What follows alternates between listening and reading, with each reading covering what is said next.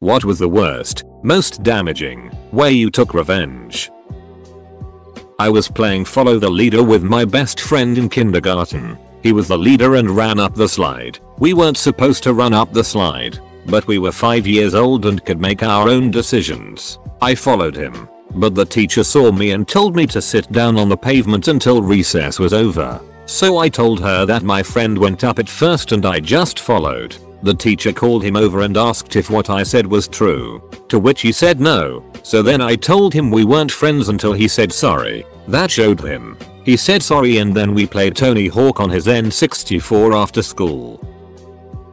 A neighbor who I never met accused me of trying to stab her dog through a double fence this winter. They have a wooden 6 foot stockade fence surrounded by a 4 foot chain link fence. The dog was injured on something in their backyard and required several stitches which resulted in a large vet bill that they couldn't afford. They concocted the story that their animal hating neighbor did this and began a fundraiser and raised quite a sum of money. Way more than the bill was. I had no idea about this whole drama until a friend in the police department told me of what this whacker was accusing me of. So once I found out, I requested a copy of the police report where the neighbor stated that the dog was hurt in their yard. There wasn't any blood or human footprints near the fence etc etc. And I posted it to the fundraising site. He lost friends and reputation for $400. Ah damn it I'm not proud of this. There was a girl on the bus. We'll call her Zeech. ZB was not a nice person. Played truant all the time. But her dad was friends with the head so she got off scot free. Made fun of other kids. Kept one guy on the ropes and then webcammed herself having sex with her boyfriend to him. Was just a dumb mean itch in general. So one day I was talking to my friends and made a silly joke about something sexual, not including her, and she just chimed in with a itchy comment about me being out of my depth and cackled at my then teenage lack of, of a girlfriend.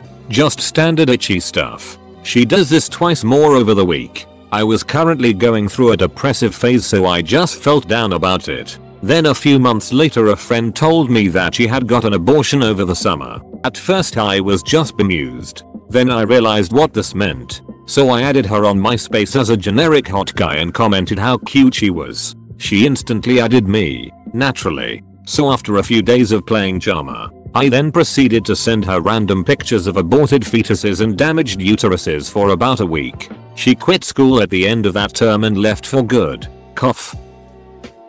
Not me, but my brother has always been one of those evil geniuses thinking 10 steps ahead of everyone else. In kindergarten he went to a fancy private school and used to get picked on a lot for wearing glasses. The one time he actually fought back in self-defense, he got sent to the principal's office and lost recess privileges for a week. This was in January. He held on to that resentment all year. Fast forward to the last day of school. My brother consumes as many liquids as he possibly can. And then doesn't use the bathroom all day. In the last hour of the day, he sneaks into the principal's office and pees everywhere. We're talking all four walls, floor, and ceiling. Eventually, my brother gets caught. When the principal asked why he did it, he looks him straight in the eyes and says you pissed me off. So I pissed on you. And that's how you get expelled from private school.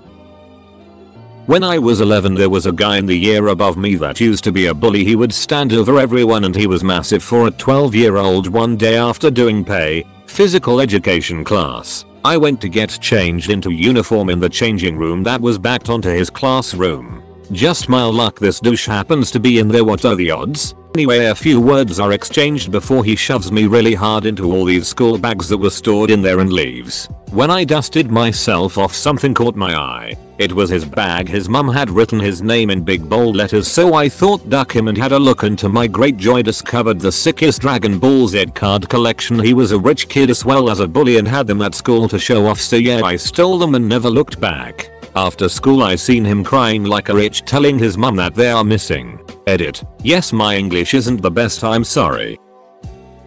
I've posted this story before but it's relevant. I got to dispense a little justice to my neighbor once. I met the neighbor sitting outside shining boots. He was in the army national guard. I walked over to introduce myself and we talked a bit about the army. I helped him shine his boots and pulled a couple of beers out of the cooler that I kept in the back of my truck. Fast forward a few months and I'm silently wondering if I'm an alcoholic. The case of beer that I bought day before yesterday had dwindled to a six pack. I shrugged it off. I drove my wife's car to work one day that week. My wife worked in a shop across the street and phoned me to tell me that she's been watching the neighbor climb into my truck and stuff his pants with my beer. At first, I was going to confront him and demand restitution but I decided that I could avenge my missing cans of beer by switching to bottles. So I switched, and when they were empty I refilled them with recycled beer and recapped. Put them in my cooler and waited patiently. A few went missing. I waited. Nothing else was taken. My point was made. A buddy of mine insulted me, so I got him drunk, took him down to the family catacombs, chained him to a wall inside an alcove, and bricked up the front of the alcove. No regrets. I made a kid eat his own parents, chopped up into chili, I'm biking my dog around my neighborhood. Some guy almost runs me over with his SUV while laughing and turning onto his driveway. I have to jump off my bike to avoid him. I get really pissed off and start punching and kicking his car like a meth addict and a wall. He gets scared and stays inside his car. I walk to the back and pull out my pocket knife and put a huge gash along his back door with a huge grin on my face just to freak him out more. I go back to my bike with my dog waiting patiently because he's never seen me that mad and we bike home together towards the sunset. When I was 14 my father and I spent every evening for a week refinishing a deck for a client. We finally get paid $600 in cash and head home for dinner. As we enjoy our meal inside something darker is happening outside. The neighborhood teens who frequently roamed our street happened to be walking by our driveway when they decided to see if any cars were unlocked. Guess which one was? The car with the cash. We were close to finishing dinner when my dad thought he heard something outside which simultaneously made him remember the cash. He rushes out and sees the teens running off, only 25 yards down the road. After checking the car extensively for the money he decides to call the cops. They believe him because the kids had done this before. Unfortunately without them recovering the money nothing could be proven. It was gone. For the next two years I took every opportunity for revenge. I ambushed them at night with a paintball gun once. Trapped three uncollared outdoor cats I knew belonged to them and turned them into the shelter. I called the cops each time they drank beer outdoors then sat and watched them get picked up. All of it felt good and I feel we're even. I once took a spider that bit me and put it into a hot pan and just watched it get carbonized.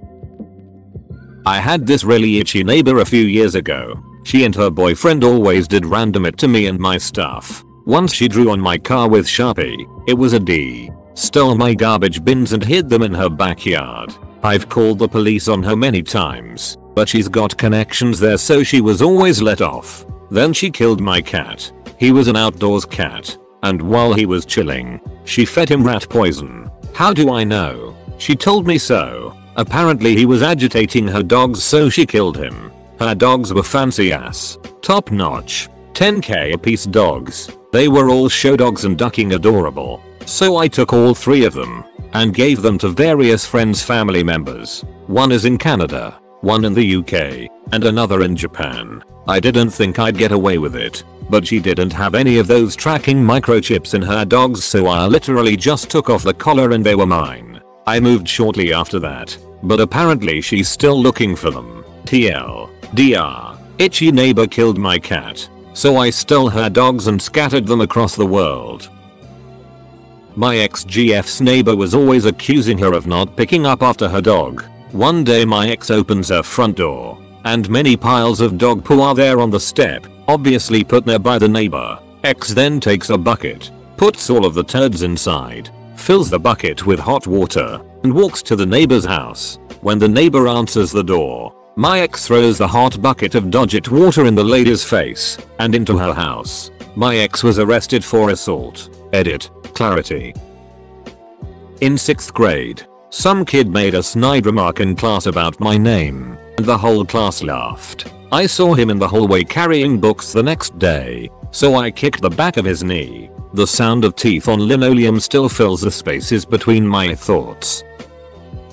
April Fool's Day this year, I had several friends send fake texts to another friend, let's call him Steve, who lives in a different state. The texts were pretend responses to an imaginary ad offering free kittens. Steve somehow figures out it was me. He then goes to a popular classified site and posts three separate ads with my number attached. Free puppies. Free kittens. And a free 42 inches flat screen TV. I start receiving a flood of calls, texts, and voicemails. I was contacted by well over 150 interested individuals in the first couple hours. I frantically tried to think of how I was going to get him back, and then it hit me. I responded to everyone by saying sure, it's still available. Come by anytime tonight after 5. I'm Steve. Here's my address. Except that I didn't always say 5 I told people to come at different times. Steve had a steady stream of angry disappointed visitors that evening from 4 to 10 pm.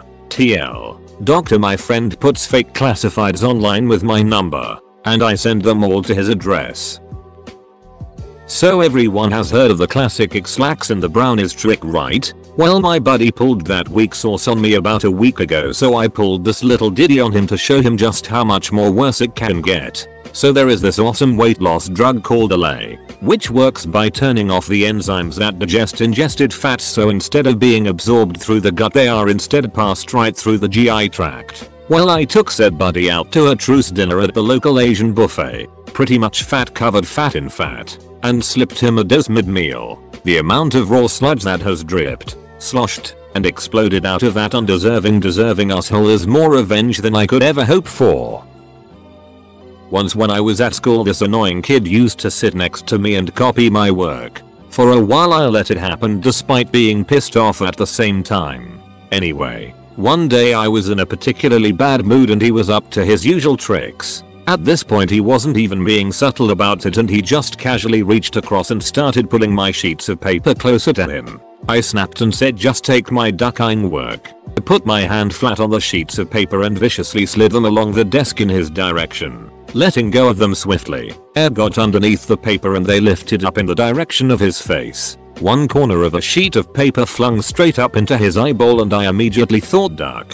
What have I done? After crying for a bit, he moved his hand away and his eye was bloodshot right next to his iris. To this day his eye still looks the same and I'm ridden with guilt whenever I see him. Was at a huge music festival in Wales. Long story short, some muscle doucher bag raver assholes stole all our booze out of our tent and drank the stuff in plain sight while laughing at us all. We confronted them. They denied it. They were much bigger than us and were surrounded by their friends. So next day, they all leave to go to the main venue tents and my mate runs. Dives into their tent and disappears for a good 10 minutes. I'm wondering what the hell he's doing so I walk over and open up the tent only to find him squatting over a hole he'd dug in the ground in the middle of their tent. And he's taking the biggest it I've ever seen. Just nonchalantly pooping in this hole. He finishes up, drags the canvas flooring back over this hole. We take a quick look for any booze we can have, but none that we could find. And we walk back to our tent. For the rest of the festival, we can hear these cunts shouting about the ripe smell of it everywhere until one of the lad's girlfriend decided to drag the canvas bottom out of the tent and find the hidden treasure trove of it. Suffice to say they had pissed off more people than just us so when they confronted us, all we could do was deny it completely and laugh. Surprise we didn't get beaten up simply for taking the piss out of the situation like we did. Was a good festival. Chase and Status weren't bad. Found more booze. Used the porta potties from the non I used to have a feral cat living behind my apartment building. It would always piss and it on my car. It hated people and didn't want to be touched. Always running if you got to within 10 feet. Anyways, I got revenge on that itch one day when I trapped her. Took her to the vet.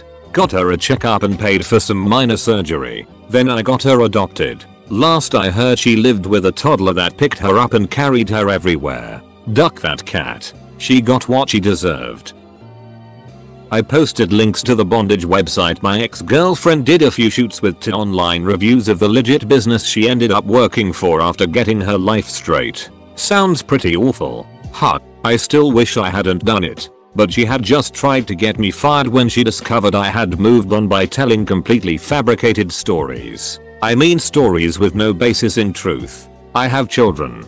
Trying to get me fired was evil. I texted after the posts with exactly this telling lies to get people fired is lame. Dude, the truth works so much better. Link to her company's reviews. I really shouldn't have. But I was angry and it felt like self-defense at the time. I downvoted their posts. Every single one. The girl I was seeing at the time cheated on me, so after a while of not talking I said it was alright and set her up with a friend of mine who just so happened to have herpes. She caught it. I regret nothing. Edit. Epic plot twist. I'm Canadian. Went paintballing. One D-head thought it would be hilarious to shoot me in the back of the leg to see if it worked. Obviously it hurt like ducking crazy. Anyways, two rounds in and we get put on the same team. He's forgotten about it because he's done about 30 other D-head things since then. He walks about 10 feet in front of me as we begin the round and says is everyone ready? So, I shot him in the back of the leg and said yeah just gotta see if my gun is working. He turns around screaming at me so, ever so calmly I shoot him again. Judging by his reactions, I shot his left ball, walked away. He went home. Victory. Not worst but funniest, I dated a guy for 3 years and broke up with him when I found out he was married, whole other story. I basically did nothing when I found out other than stop speaking to him. About 6 months later I was thinking about it and wanted to send a little jab so I logged into the student library site with his student card info and ordered a few dozen books on adultery to be delivered to his office. Option available to grad students, which he shares with two colleagues. He's a computer science major so the books were definitely not part of his studies. It was little but gave me a laugh. I was sitting in the library on the first day of fall semester trying to work and a kid wearing Beats headphones was loudly rapping to his music. I politely asked him to stop, to which he called me a witch or something, tried to make a scene, and got up and left. The thing was he had forgotten to log off of his school's account, so I dropped him from all his classes. I changed a battery for a guy I can't stand. So I didn't connect the auxiliary pack before I removed the battery from his car. So his clock and radio stations all got reset. There was this jerk that used to make it his personal mission to make my life miserable in school. I was quiet and never really bothered anybody, but for some reason that sort of thing set him off. I got back at him by keeping everyone at arm's length and developing a bitter and cynical view of the world by being happier than them. I actually don't think I've done anything proactively, but letting them drown in each other's psychosis instead of being each of their punching bag victim has been pretty great. I was sleeping when my back door was broken down by two men. I yelled and they left. A young kid knocked on my door and said he saw it, and that one of the thieves had a blue jacket and a yellow hat. I was livid and got into my car to scour the neighborhood. It took me about 5 minutes to find them and I drove up to them while in my car. I was yelling at them. The kid with the blue jacket kept his head low and walked away while his friend confidently approached my car. I kept yelling that they had broken down my door. Ma, confident told me to calm down and that they had done nothing. I asked for their names. A fake one was given and told them I was going to the police and that a witness had seen MR blue jacket in my yard. With that, I guess MR, confident got scared and he reached for me. I floored it and he held onto my window and I dragged him for about 20 yards. He was twice my size and would have beaten me senseless. But I managed to get away, call the cops and eventually they were busted. One of the dumbest thing I have ever done. My brother broke an expensive pair of headphones I had recently purchased and I told him one day I'd get him back but kept quiet about it for months. One night I was lying in bed unable to sleep and I decided to punch him as hard as I could in the nuts. He doesn't like me very much anymore. When I was in the 5th grade there was this chump who always teased me. One day outside of school I ran up to him and kicked him as hard as I could in the balls and I remember hearing him scream as I walked away like a badass. Years later his parents ran into my parents at a restaurant and blamed me for their kid's testicle issues he still has. Years later I kind of feel bad about it, but he was a pig-faced D. My friend's sister saved her used tampons and scattered them around her ex-BF's car after breaking into it one night. I'm not proud of this, but my girlfriend cheated on me so I ducked her best friend. Bring on the downvotes. I stopped picking up her phone calls. Girl was a major attention whore who loved to lead me on and then run off to duck some random guy every few months. We dated a few times but when we broke up and she ran off again I said duck it. She comes back pregnant and still tries calling me every few months. At least she didn't claim the kid was mine. Flooded a neighbor's house they were selling when I was 14 for the kid next door stealing some video game from me before they moved. Their uncle came in to check on the house and heard an audible oh my god. In what world been the moment when he opened the door and tons of water came pouring out. Left it running for almost 2 days before he got there. Also might have pooped in the house. Might have. I worked in an office once. And the boss was a real prick. If you used any of your sick days, he would hold that against you at your yearly review. But if he was sick at all, or even just felt like it, he would stay home or go golfing. Well, there was a terrible flu going around. I was sick. A coworker was sick and throwing up in his trash bin. But none of us were allowed to leave. So when my boss went home super early, again, I went into his office and coughed and sneezed all over his mouse and keyboard. He got really sick a day later. One day I was parked at school in the parking lot and someone literally blocked me in. It was a two car parking lot and they decided to put their car behind mine so I can't pull out. It was my last class of the day and I was pissed off that day for some reason. I keyed the entire car all around. I keyed duck and dece on the car. I poured lantern fluid I had in my car all over the door handles and the windshield. I even went as far as putting like 3 nails I had in my car in back of the tires so when they pull out they would go through the tire. I then became very paranoid that I could probably go to jail for this and luckily the guy in front of me pulled out before the car that blocked me in. I had to wait 3 hours after class for that asshole. Not exactly the worst revenge but I think it's funny. My ex mother-in-law was one of those a wife serves her husband and does everything kind of people. She always criticized me, my housework, the meals I cooked etc. I decided to get even by filling a sock with the dust from my vacuum canister. Every day I'd stop by her house and take a moment to shake the sock around her house. It left dust everywhere. The floors were the easiest, everyone's socks would get dirty from walking around. Her husband was noticing she wasn't doing her duty. The best was when I went and shook dust all over her couch pillows and returned that night. I made a show of flopping down on the couch from being so exhausted from work. Dust went everywhere. Her husband was like what the hell? Don't you ever vacuum? Double quote. After getting let go from my job, I took a dump in the urinal before leaving the office. Not my finest moment. When I was first out on my own I went to live temporarily with some friends while I settled in and got my own place. Put most of my belongings in the storage unit of their apartment. I went back a week or so after moving into my own place to get my things and my buddy told me that the guys he knows downstairs from him had taken my bed set. I went down to confront them about it and when they opened the door I could see straight into their apartment and into the bedroom, and there was my bed. They denied it and said their uncle gave it to them and shut the door in my face. I asked my buddy if he knew which car they owned and he did. He pointed it out. I checked the doors. They were unlocked. I went into my car and grabbed the extra bottles of motor oil I had and proceeded to coat the interior of their car in motor oil. The last bottle covered the driver's seat. Then I walked next door to the 7-Eleven, bought a carton of milk, and poured it into the vents of the car. Got stung by a bee, put it in the toilet and pissed on it. Duck off, nature.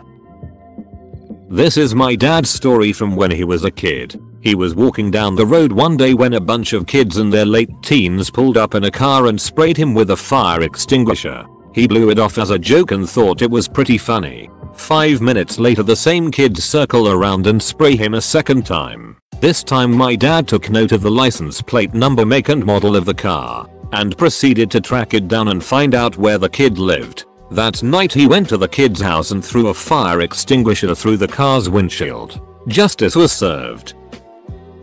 Last year had been my first time playing with airsoft guns. Right around the end of 2013 summer, I was invited to my friend's woodland property to play with his guns. There were about 12 of us, and sadly I was the only chick. After being divided onto a team, My one friend, we'll call him Greek, relentlessly showered my ass in bullets. Greek was not only literally 3 times my sizes, but was also large enough to just shake me out of the trees I was trying to snipe in. So, around the end of the night, I crouched under a bush and saw this ducker coming towards me, and I shot him. In the testicle. Down he fell like a mighty HS oak screaming at the top of his lungs. She shot Emmy in the bowels. After rallying everyone over to see the commotion, we all had a good laugh while he vomited and writhed in the mud, then helped him inside. I'm still good friends with Greek. D.